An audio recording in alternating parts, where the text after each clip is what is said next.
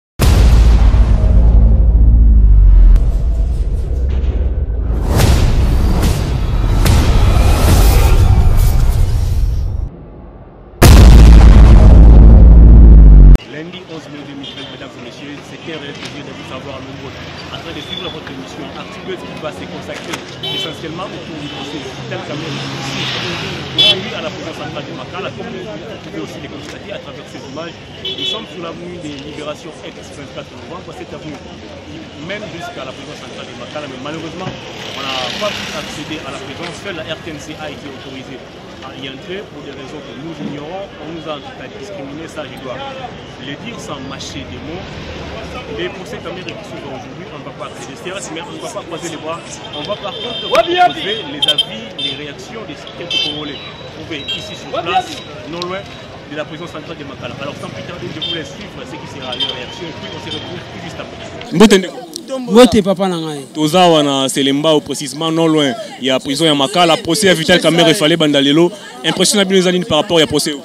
Bon, ngai impression na ngai ezaki ni tata. Omoni mbongo na yo na mbongo na ngai yango eza pa tipa wana. Susi ya so bana mboka eza ke biso to ba jeune. Mona to vivre eza pasi. okoprendre okende oluka boye kozwa eza ya difficulté eza ya pasi tozwa te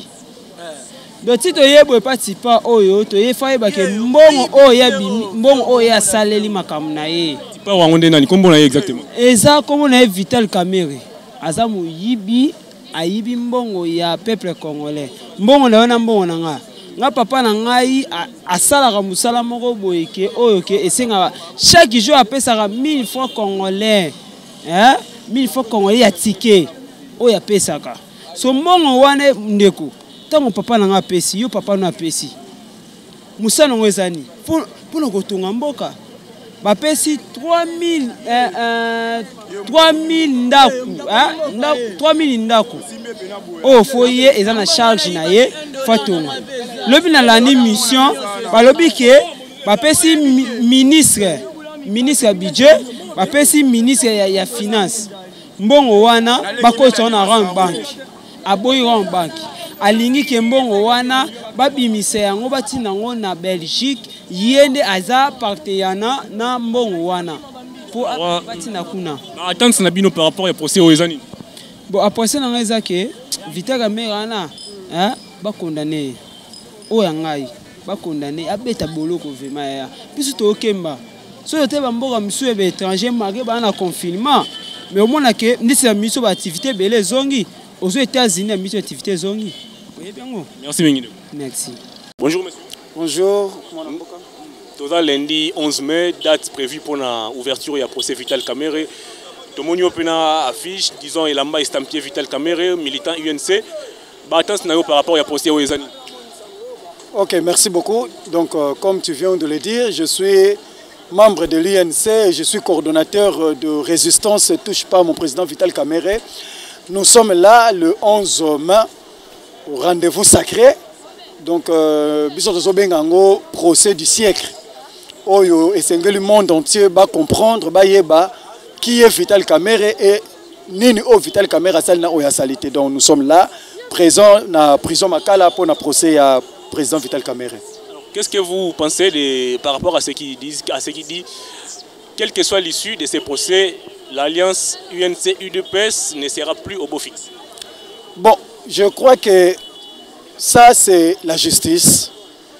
nous sommes en alliance avec l'udps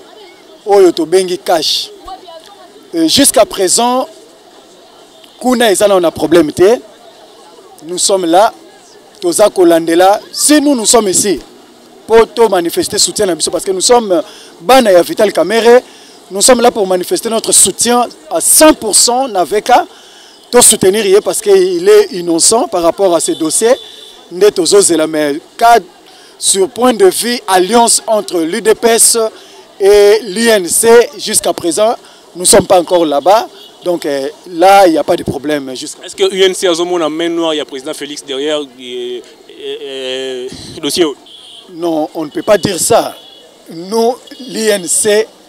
nous avons confiance à la justice.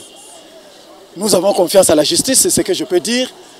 on ne peut pas parler de ça, donc euh, on ne peut pas saluer le chef de l'État. Président Vital Kamere, il a été cité par des rumeurs, par des rumeurs, par de Facebook, tout ce qu'ils ont dit là. Alors c'est aujourd'hui que nous allons découvrir si réellement le président est voleur.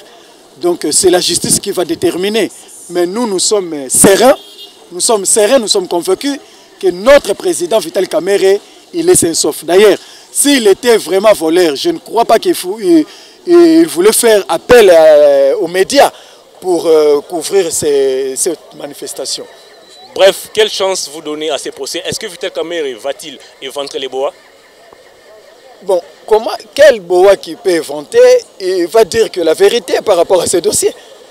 Il va dire que la vérité. Parce que nous attendons la vérité. Le peuple congolais attend que la vérité de la justice. Donc, euh, il n'y a pas commentaire à faire là-dessus. Nous attendons que la justice soit faite, que notre président se défend, euh, sage qu'il est, intelligent qu'il est, le pacificateur qu'il est. Nous attendons la suite donc euh, il peut pas éventer le boa si il va éventer le boa par rapport à ce dossier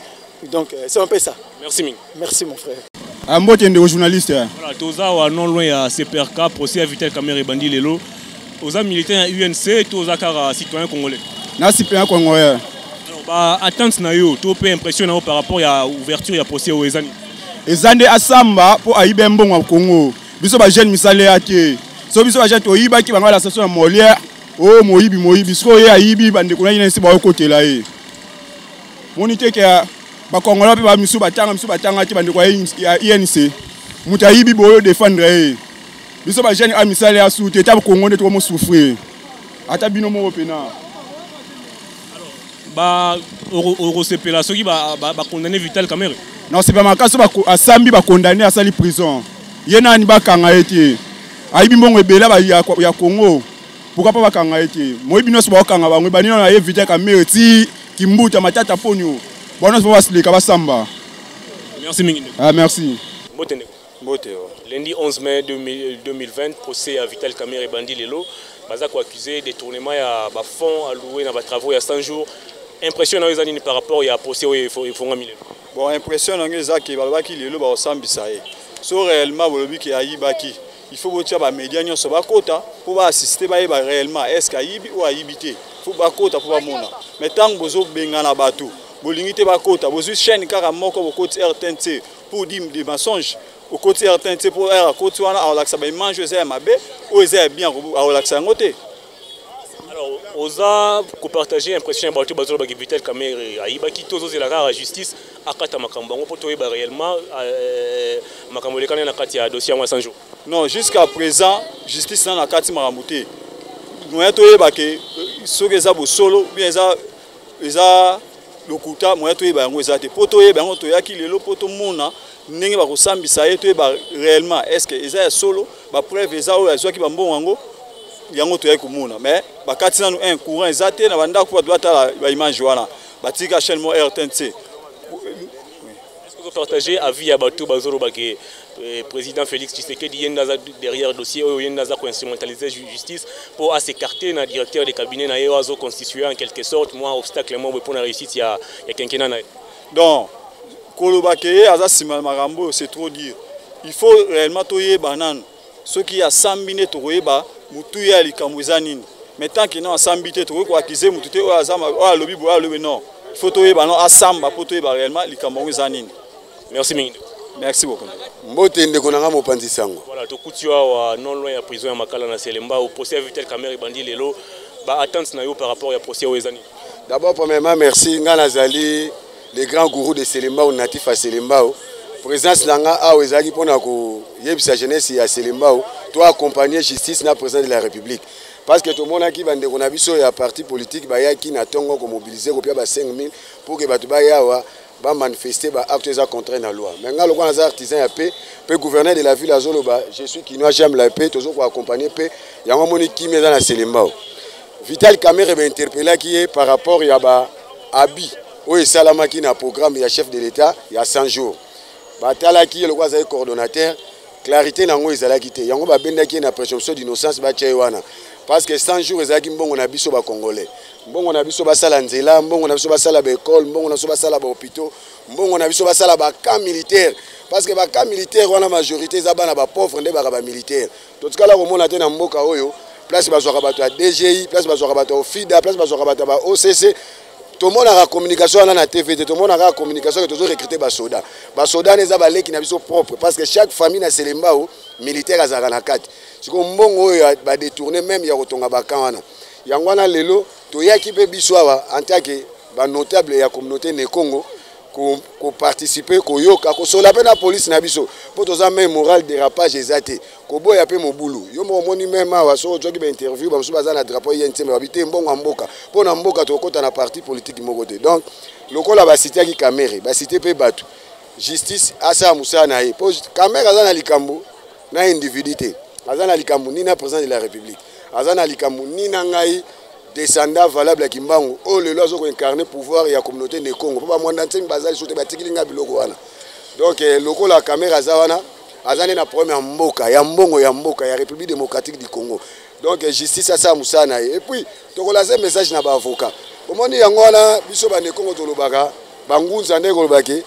ngangu vantoto wau ntuka feti ntuka donc eza classe mosusu bato batangi baza nde limité batangisi classe ya suki nde kaka na alphabet français 26 lettre azobenda makanisi ne mosika te un avocat defendaka individu te adefendaka droit alors est ce que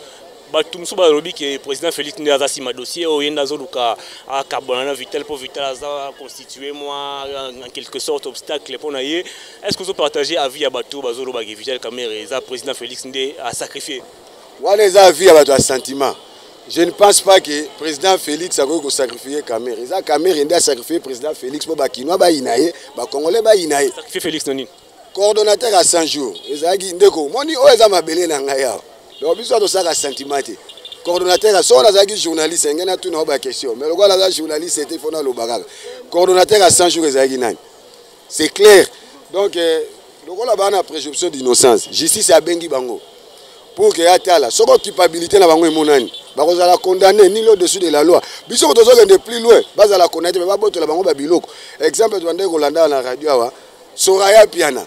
bon mosala nini ye de asali na vie na ye biso osali bastage professionnel toya bafonctionnaire ya leta ata ngaro no natongi te mais soraya tala ba concession aza nango ba dimension azwi mbongo wana wapi tu wana eza eloko ezopesa bokasi ya bacongolais ke to accompagne justice ya mboka mpo justice nde etombolaka mboka etat de droit ezali eloko oyo soki biso nyonso toza meme moral tolongoli basentiment politique mboka ekokende liboso me ya koloba ke président félix aza kosacrifie camere c'est du mensonge mpo bazalaki bango mibale tomonaki na bacampagne nde bakendaki tomoni esika bakomi soki président camere pardon ndeko olwaka ningini vital kamere azalaki na motema ya bolingo ya mboka alingaki accompagner programme ya 100 jours mpo eza intérêt ya bacongolais très bien alors liloba na oyo ya suka par rapport ya procès oyo efongami lelo batante na yo eza nini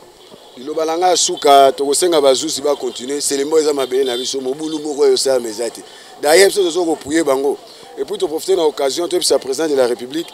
ya mbala oyo na ntango akonome bato arendre mpe compte ya géopolitique parce que tomonaki injustice eh, eza mingi na biso bato ya congo central tose retrouvaka te na baposte ngai atake le grand gourou de selemba abrahame na yame naza koaccompagne président de la république na jeunesse nyonso omoni awa sentiment te jeunesse to eza eza bato oyo bayokaka ngai donc toaccompagnaka buzoba te yango moni meme na campagne électorale na accompagnaki papa molie nayaki directeur ya campagne na ye par rapport ya bavision na ye azalaka na yango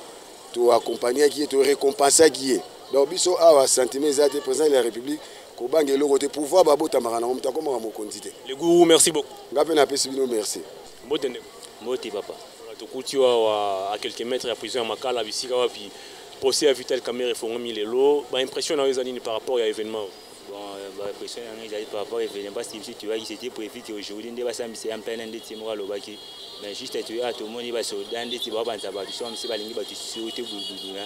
isikani toza bana toyaki bana ntongo toza awa eloko moko eza tozeba soki basambisi lelo soki bapusi jour nini ma pusi ezeba na kati misu balembi ekomi su kakasiki ya basoda awa donc okata bato bilamba menance ya vu ya nde donc makambo wana toyoki donc toyeba ye soki tobana ndenge te to tosuka nini donc processus eyebana kati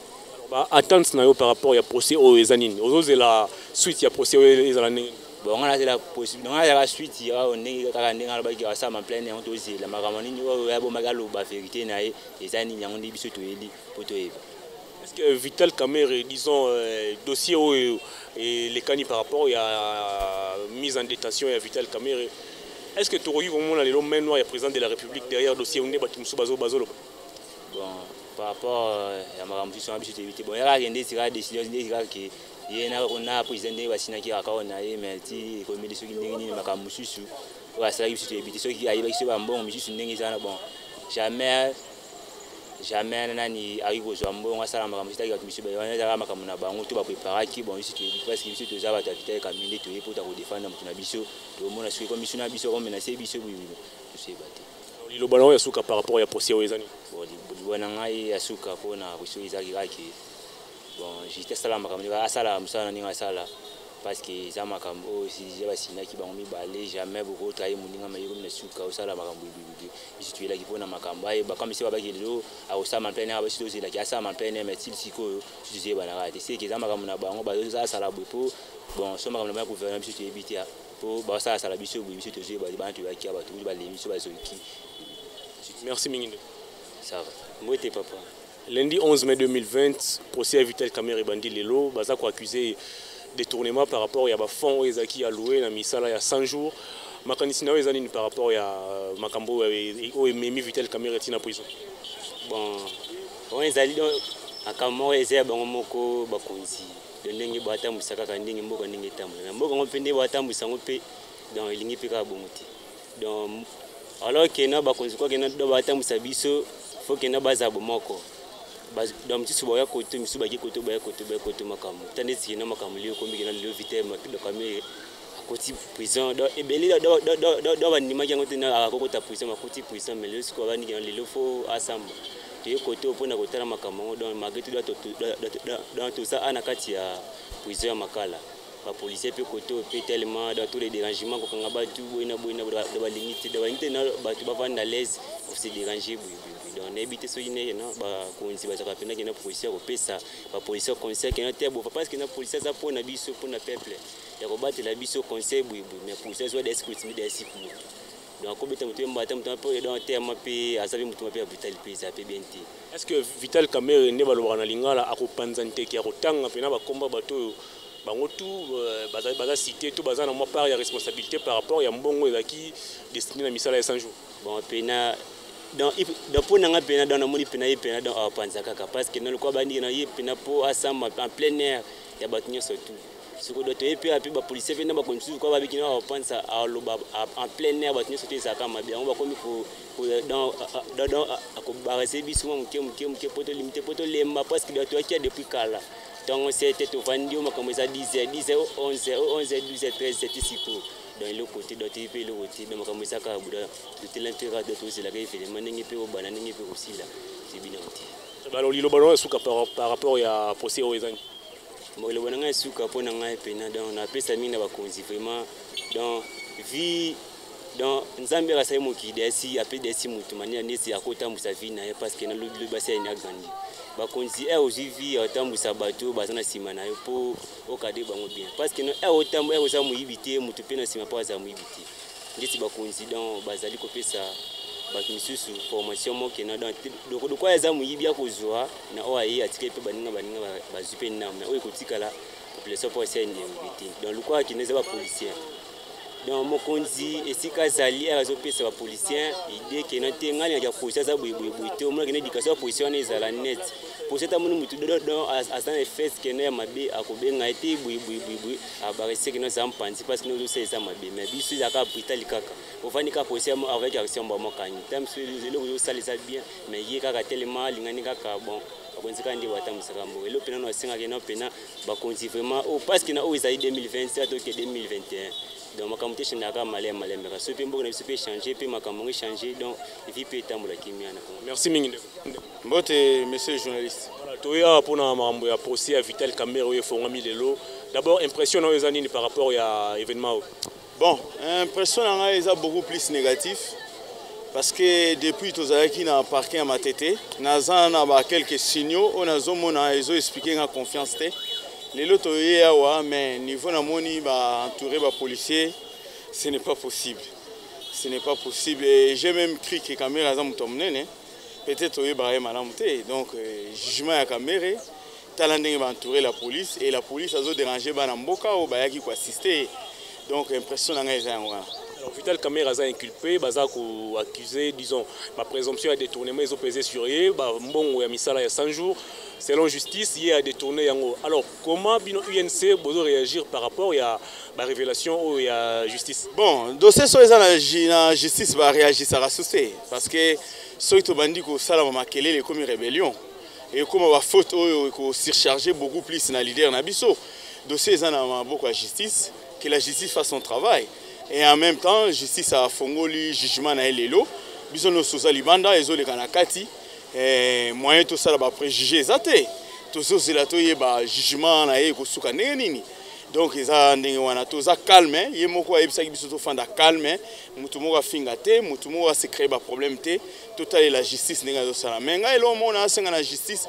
justice ya mboka toyoki ke ekomi eh, état de droit état de droit ekoti état de droit epronaka mingi justice justice azala indépendant areleve baaspect politique te parce que jugement oyo nazomona yango eza na bamain noire trop eza na ba ça relève beaucoup d'aspects politiques et beaucoup de des signaux suspects oyo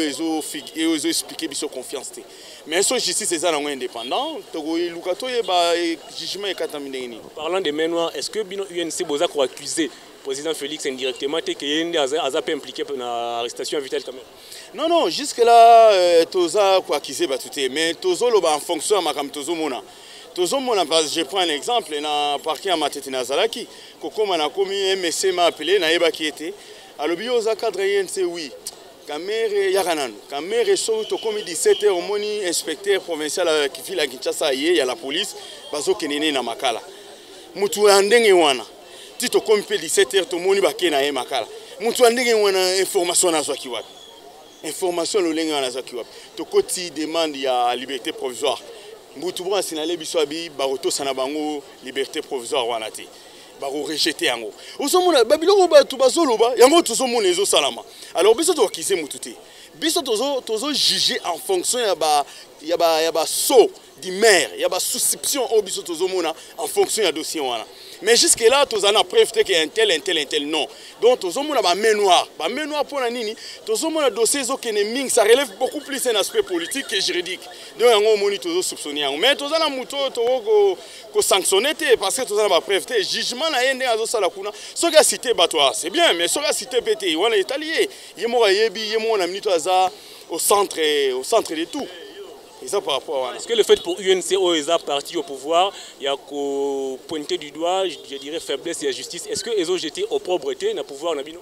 non bon ezo jete oprobre te tozomona tozoloba en fonction tozomona justice ezali eh, un village eh, une église au milieu du village na na technique tobenga yango la ligne de taloueg la ligne de taloueg eza ligne oyo ezo séparer deux bassins versants justice il faut ezala lolenge wana la justice doit être au milieu doit être impartiale la justice oyo ekomi na batendance ekomi mabe justice oyo ekomi na basentiment ekomi mabe justice oyo ekomi na aspect politique eza sous justice te omoni ke toleki temps ebele 18 ans na mboka tomonaki justice ayaki politise mais lelo mpo ekoma état de droit c'est tout un processus ekozala kaka mbala moko te alors tokoluka toyeba yango susi na biso ezali justice ezala état de droit tozala na état de droit par rapport ya misala ya justice mbote ndeko oui bonjour voilà toza awa na commune ya selembao toyaki procès ya vital camere baboyi bato bakota na prison finalement procès efongami lelo baimpression na yo d'abord par rapport ya mokolo ya liboso ya procès oyo eza nini Bon, ba impression na ngai na mokolo lelo eza miracle te, ezaki date moko to s'attendaki nango pour tona ozela ngo mingi. Toyeba makambo keleka lelo pona premier procès ya papa Kamere. Nde yango lomoni ke toye ebele po tolanda procès ya papa Kamere malgré toza libanda. Tokoti te mais toza libanda. Et balobai procès ezala retransmis en direct na rtnc pourquoi bose mobilise boya ti na prison alors que na tv bazolekisa yango en direct mais procès ezala eza direct na rtnc oui eza eza logique balobaki yango mais soki totali bien tozala na problème mingi ya, ya électricité moi je viens de la maison nazalaki na ndako nasi na bandi kolanda procès ebandaki paf korekei banasala nini naye mangu mpo natala sikoyo en live ngai moko na prison totala procès ndenge ezolekela aussi longtemps ye moko papa kamere asengaki mpe abetaki mbela na directeur général ya snel asengaki alobaki ke bokata courant te mokolo ya le 11 bolinga ke courant ezala mpo moto nyonso alanda procès na ngai na etando ike bisika courant ezalaka mais tosutuki courant ekei ekoma kokende yango comme d'habitude bon aussi longtemps président apesaki deux mois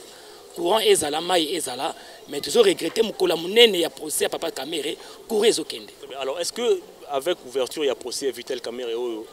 boza convaincu que vital kamere ah, nde balobaka ninga na kopanza mpena nteke ya kotanga mpena bakombo donc biso tout tokoyeba vérité Oui, alobaki yanga prometaki yango. Aza ye moko te moto asali ba bi wana. Oh, ba na, na, na terme ya politique, détournement. Mais surtout que na, na dehors ya terme politique, to expliquer détournement ngoloba vol, koyiba. Yesu alobaki ako décortiquer. Mabe eza te, il faut atangela biso bato oyo oyo asosaki na bango mpo lelo oyo baétouffe population sur le plan ya 100 jours ya président de la république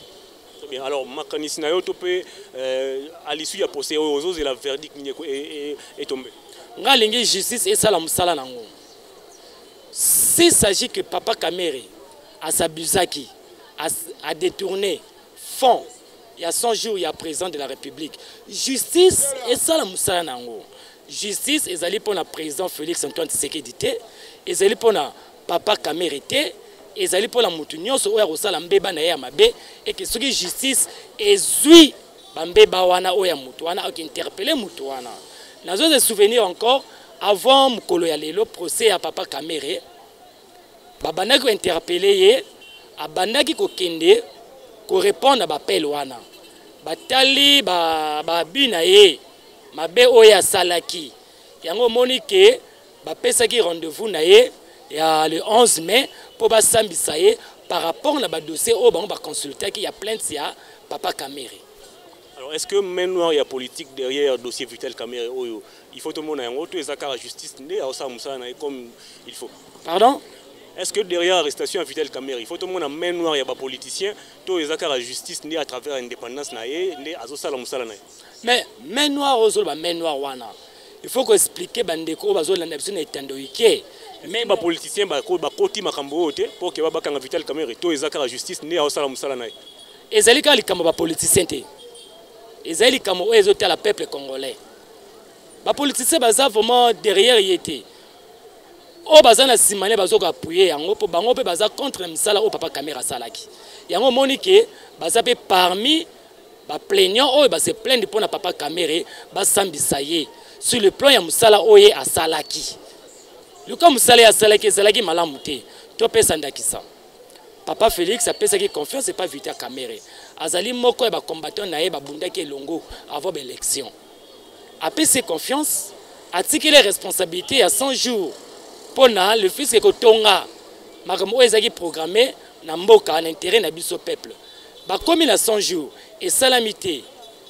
tobakisi mikolo mais papa félix amoni ye ke makambo ezotambola malamu te ekebebisa carrière politique na bango na ye na ndeko vita kamere na pouvoir na ye en place yango omoni ye ke justice eye koaprendre makambo wana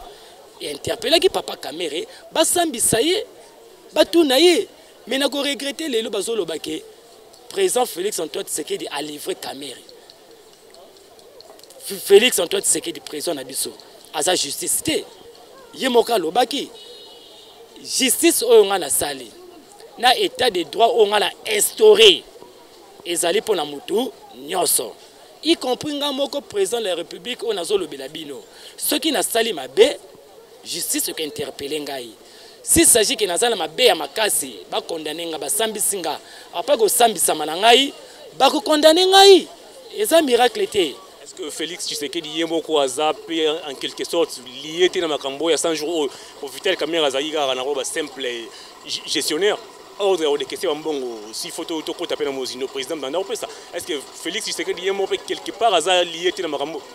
bon na regrete lisusu soki lelo président félix tshisekedi bozoloba ke ye mpe akoki kozala impliqué na makambo ya, ya détournement ya fonds ya 100 jours ya président de la république eza kaka regrettable nandimi te nandimi te papa félix alingi ase saliri te lokola instauraki justice yango wana afongoli maboko moko ya bakabine na ye akende kosamba soki aza innocent bakoakite ye eke soki aza coupable bakokanga ye bakopesa ye tumbu bakokatela ye mandat na ye ya arrestation ya arrestation c'est ça le problème soki félix président félix antoine tshisekedi bakoki kozala impliqué na makambo wana balakisa preuve papa kamera alobi akodecortike akoloba verité aza ye moko te mpo conscience na ye elobaka mpe alobaka bozokanisa naza nga moko toza ebele merci il faut à décortiquer bateau mais pour la président Félix Antoine Tshisekedi naza certain te très bien liloba nango ya suka to makanisi nango ya suka par rapport ya procès oyo eza nini bon liloba na ngai ya suka na makambo ezoleka lelo oyo babengisi papa kamere tozonga nanu avant pouvoir na bango tozalaki na bakabiliste